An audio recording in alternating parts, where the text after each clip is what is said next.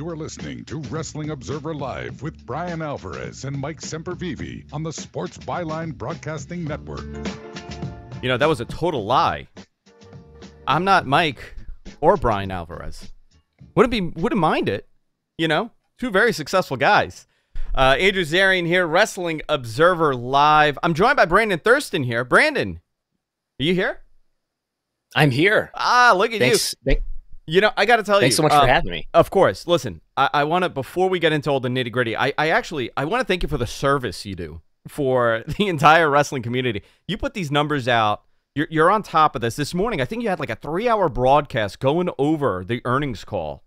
Uh, I was glued to it. I, I really because I find these things fascinating. My co-host on Mat Men, not so much into the numbers. So for me to be able to sit here and talk to you about all the numbers stuff, I find you know it, it's it's my own. This is like a pleasure for me. So I really appreciate you coming on to go over this stuff because a lot of this is very fascinating stuff. Yeah, especially since AEW's come along, uh, there's more interest in ratings than ever. Um, it's become sort of to some wrestling fans, it's become sort of a, a utility. You need your uh, you need wrestling television, water, electricity, and TV ratings. Um, but yeah, but by the way, th- thanks again for having me. Um, just watching you you work the real radio in the last few minutes has been a, watching a sport of its own. It, it really is, man. was You got to you got to see. Like I, got- I'm I'm I'm spinning plates. Nobody could see. They're listening on the radio, but I got like ten spinning plates right now. So let's go into this a little bit. Um, you know, it was a record one point zero nine five billion dollars reported yes, I mean, this is this is astronomical numbers for this company.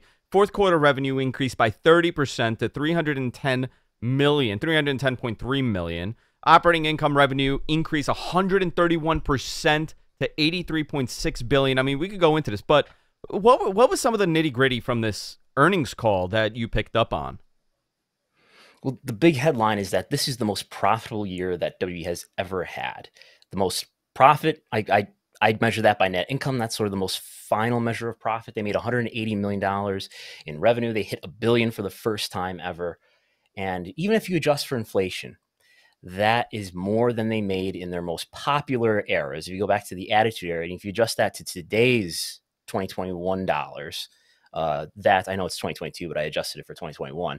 But if you go back to the Attitude Era, their their most profitable years ever were 99 and 2000, and that would have been about 91 to, to 93 million dollars in net income. And again, 180. So they basically doubled what the Attitude Era was, and they broke their the record, which was set last year during the pandemic, the you know the, the year of, of 2020 that was you know they had no no ticketed live events uh, beginning in the middle of March through the rest of the year. Uh, but this year was uh, very profitable, and they made over a billion dollars, largely driven by their increasing TV rights fees that just increase every year. That's that's how the contracts are written. That's how the U.S. one is written, and that's probably how some of the international agreements are written as well. Not really dependent on what the, I mean, not at all dependent on what the TV viewership is they're guaranteed escalating TV rights fees that are guaranteeing WWE to make more and more money over time because live sports are extremely valuable in this environment. Right, and it's rare to come across, right? Because everybody's locked up into long-term deals. You know, everybody gets locked into a four-year deal, three-year deal, ten-year deal, whatever, whatever. You know, depending on the the, the sporting brand. But you know, some of the, some of these things is very interesting. First of all, we are no longer in a gate business, uh, even though I believe uh, merch sales uh, had an increase for the first time in a very long time. Uh, I, I read, I forgot where I saw this, but apparently for the longest time, I think it was like an average spend of ten dollars per you know per person that was that was attending an event and i think it went up by 50 cents so they're actually even though their gate is lower because it's less people going to the events they're spending more money and some of that is maybe equated to the fact that they have way more merchandise available nowadays or the fact that people you know diehards and and they're spending way more money at these events do you, where do you think that falls in line Well, venue merch per capita was twelve dollars in this quarter. $12, was, it was okay. up to four. Yeah, it was, it was fourteen dollars in, in Q three. That's that's the July, August, September quarter where they were had just returned to touring, and there was a lot of pent up demand and a lot of enthusiasm for their events. And fourteen dollars per head, down to twelve, and I think that's more reflective of what what the regular price is going to be going forward.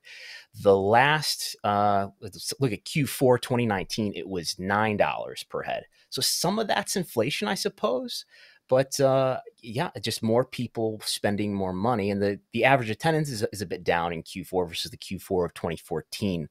Uh, they average, I believe, 5,200 uh, in paid attendance in North America versus I believe it's 5,400 uh, or 5,800. So average attendance was a little bit down per event, and maybe you've just got more hardcore fans left that's pushing that average up, and maybe a little bit of inflation, just maybe some prices are going up on merchandise. But but yeah, their their vending merch per capita is up. So looking at the conference call, uh, you know, where do you see the growth uh, for WWE when it comes to 2022? Do you, I mean, obviously the rights fees are going to go up for the next next set of of, of contracts that they're going to sign uh, for television because that's just how the nature of television is headed right now, where everybody's getting more and more probably. money. But probably, so. probably. Uh, where do you see, as far as the business goes, when you look at this the trajectory for 2022? What stood out to you? Was there anything that that stood out with this conference call where you can say, okay, you know what, they're gonna, this is where they're gonna maybe change some stuff?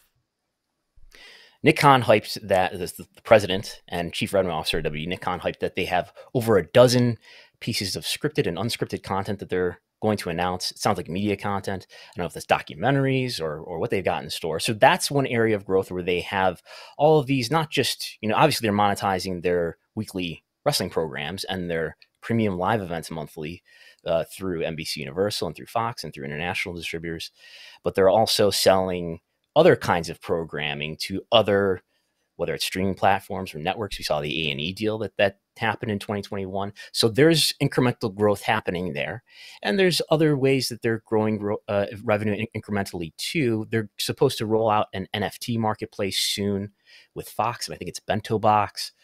Uh, there's there's going to be a, a 2K game coming out that should drive some revenue if it's a good game. Uh, but yeah, they ha- they have opportunities in gaming.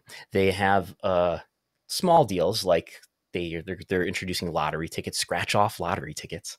Uh, but there's a lot of these little deals that Nick Khan is well suited to make, and his team of people are well suited to help WWE make. In addition to Nick Khan and, and his people being especially well suited to negotiate favorable TV rights deals for them going forward. And I should add to the the network the network is obviously in the US on Peacock, but they have other deals to make internationally.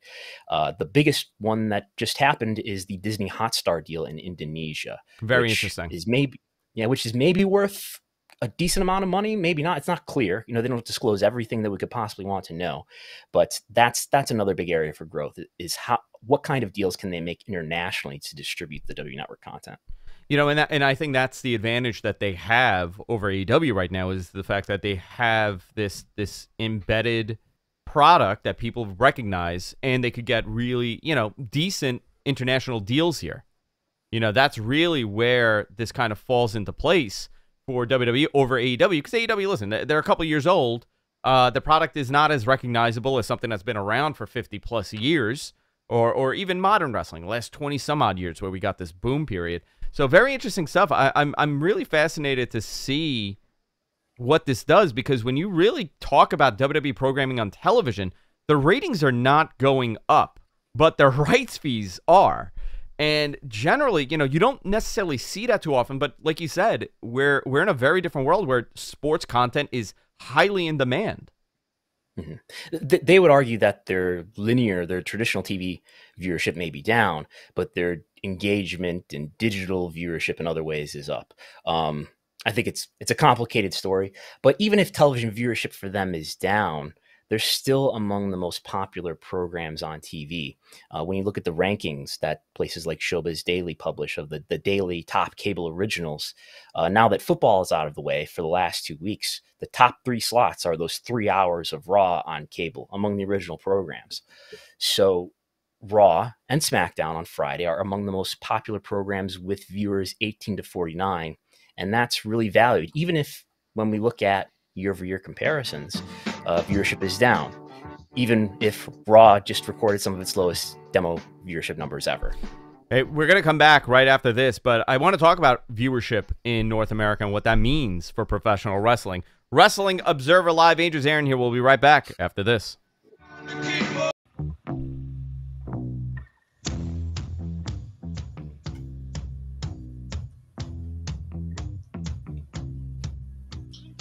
Wrestling Observer Live. Andrew Zarian here. Talking to Brandon Thurston. Talking about the earnings call, ratings, and everything else that that, that we heard during that call. Uh, weekly ratings, which I want to go into. SmackDown overnights, 2.06 million, down due to the Olympics.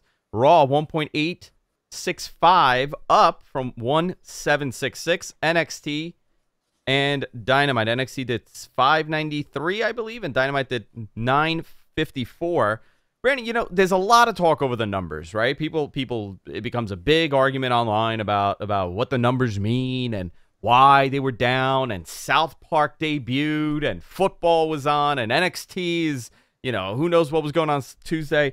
You know, when you look at these numbers, and, and you and I have had numerous conversations about this. You know, what overnights are, what you know, what what the actual numbers are. Fast are. Nationals. Fast Nationals. I'm sorry, Fast Nationals.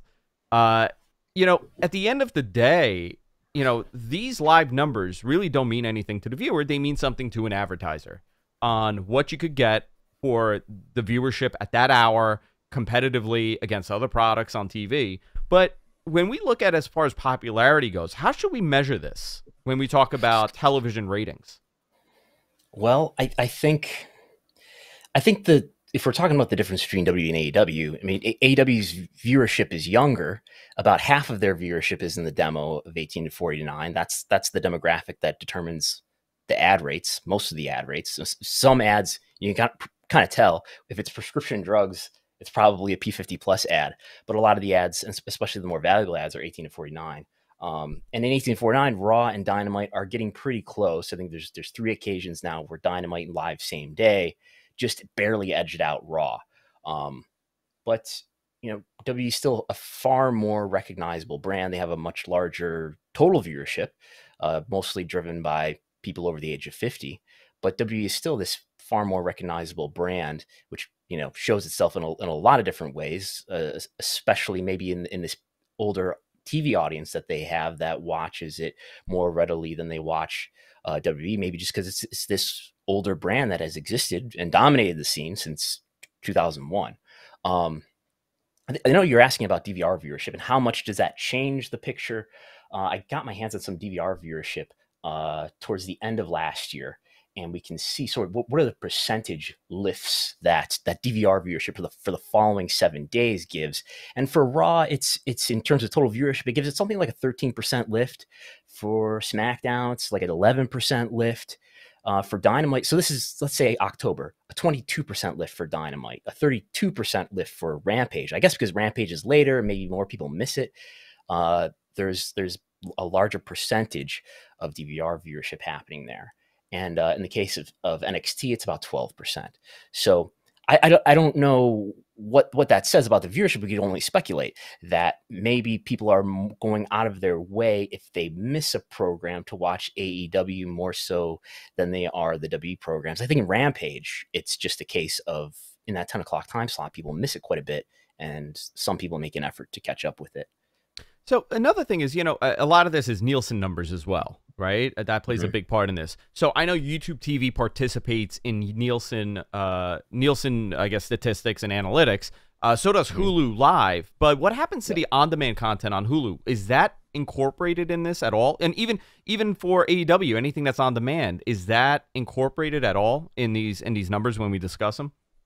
No. If if you're watching Raw on the USA Network or Fox on or SmackDown on Fox or AW on TNT or CBS, whatever way you're watching, whether it's through traditional cable or satellite, or whether it's through the virtual MVPD, which is YouTube TV, Hulu Live, Sling, uh, you are being counted. I don't know if you're being counted or not, but you you could be in the sample that Nielsen collects and then extrapolates onto the whole population to to give these numbers that we see. Um, but next day viewership on Hulu is is not a part of that. Uh, watching clips on YouTube are, are not a part of that. Um, and I've, I've been doing some uh, scraping of, of the YouTube viewership lately. Uh, I just tweeted a, a, table today, you know, looking at let's let's take the last seven days of the new content on YouTube for both WWE and AEW, and look at you know how many views are the clips of the shows getting, and the top slots are usually dominated by by WE.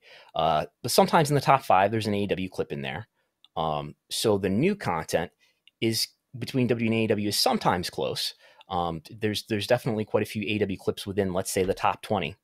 Um, but when we look at what WWE's YouTube channel overall does in a given week or any period of time, it's massively way ahead of AEW, which is the next nearest uh, channel. I don't think Impact is, is, is up there as much, even though they probably have more subscribers on their on their channel. But the the vast library of content that WWE has on its YouTube channel alone, I think it's something like fifty nine thousand uploads that they have because they've been on YouTube since since day one practically. Uh, there's this this massive archive of library content that's on their YouTube channel that accounts for uh, at least in the last week, and I think it's this is typical uh, of, of, what's happening normally. Seventy percent of the views that they get in a, in a given period of time are of content that's at least a week, more than a week old. So it could be years old. Um, so there's there's that advantage they have, at least in terms of collecting YouTube views, which um, probably means something like twenty to thirty million dollars a year. Maybe maybe that's even grown. You know, YouTube just put out a report uh, on its ad revenue, uh, and it's it's generating in, in Q4 it generated more ad revenue than Netflix generated in subscriber revenue, which was pretty fascinating to me. Very interesting stuff. You know, also saturating the content. You said 59,000 clips they have on there. AEW, you know, and they also probably, and, and this is me to knowing how WWE's structure works on that side of, of content. They are very in tune with how to present that content and when they upload. Like, they don't upload just random stuff, right? Like, they, I'll give an example. Uh, just yesterday, they uploaded a Asuka versus Bayley video, right? That that's there's there's supposed to be some synergy there with the TV product. They're supposed to remind you that these two exist and they're coming soon. You know, everything that they do kind of is is intuitive with that, but you know, also 14 year, 12 year, whatever the terms are for YouTube. They have an advantage. They've been there for a while. They have a partnership agreement with them. They have uh, meetings with them. AEW is just getting started with this. You know, not, it doesn't say much as far as AEW not doing well, but what is this where where is the viewership coming from? Because for the longest time the the stigma was well those viewers are international viewers they're not north american viewers the, the most of them. But i don't know if that's true anymore. I, i've been told by some some people who are indian wrestling fans that the youtube clips are geo-blocked in india for the first 24 hours. Um, it's the, the latest that that W has ever said publicly about this is that 30% of the YouTube viewership or the digital engagement that, that they get is from the US. So 70% of it is international. Um, and if you look at their even this this includes their their latest report, I think 80% of their revenue was North America. Their entire picture of revenue, 80% of it was North America and only 20% of it uh, was international. So that gives you sort of a, a, a dichotomy of they they're a very international product, at least when you look at them digitally. But where they're getting their money from is is from North America, uh, which largely because of the economy, the economies that are the difference in the economies between the U.S. and just about everybody else. Where you know a lot of the ads that they sell, the the the more uh, lucrative ads that they sell are from the U.S. You know, when you when you look at the integrations, which was a big talking point on on this uh, earnings call, the integrations that they have with whether it's um, Red Notice, the Netflix show, Jackass with having Johnny Knoxville. I just heard in, in, the news update that Jackass was the number one uh, movie this week. Um, so th- there's a lot of that, and uh, they're putting all that stuff on their premium live events. Now they're called, and uh, an- another big talking point from the earnings call is how much viewership on Peacock has increased versus the U.S. viewership on the W Network when those events were just on the direct to consumer W network. But no no exact numbers though. We we don't get exact no. viewership numbers. Yeah, that that's the big mm. secret number. That's the secret sauce. They don't they don't tell you that. That's right. I'm sure they tell their advertisers, but there was about I think it was like 20 to 30% depending on the the the pay-per-view uh, the PLE. Uh, mm-hmm. but except for one and that was Crown Jewel that saw a 70% yeah. increase in viewership over 2019 numbers. I think the 2019 one was took place on Halloween. So maybe that makes a little bit sense that it was such a big increase compared to the other pay-per-views, but what where what did you make of that? Uh when the W Network as a direct consumer service in the United States shut down, they had 1.1 million subscribers The peak was in 2018 when they had 1.3 million in the WrestleMania quarter. So when you're on Peacock, Peacock just reported, and the Com, well, Comcast reported in their earnings call a week or two ago that there's 9 million paid subscribers, independent of the people who get Peacock because their Comcast cable subscribers or their Cox Communication subscribers. They said that there's 7 million highly engaged subscribers through that avenue. So that would come up to what 16 million subscribers who are using Peacock. So that's a lot more than 1.1 million in the Way US. More. So so viewership is is consequentially up uh, for these premium live events. So uh, fascinating. as you said, uh, 20, 25%. Uh, Money in the Bank was up. SummerSlam was up 30%. Extreme Rules was up 20%. The Saudi event in October up 75%. Uh, Survivor Series almost 25%. And Royal Rumble this year versus the Royal Rumble of 2020, which is the last time they had fans in attendance, was up 45%. So a lot more viewership for that. Very interesting stuff. Uh, very different company. Uh, you know, a lot of Vince really did not play a part in this earnings call. I think he just did an intro. Uh, he seldom yeah, does. Yeah, that that's it. Uh, it's a Nick Khan show. Uh, that's right. Brandon, man, thank you for coming on. This this was fantastic. Uh, love to have you on again. Thank you for having me. Wrestling awesome. Observer Live. We'll be back right after this. A lot to talk about, especially WWE and AEW TV right after this.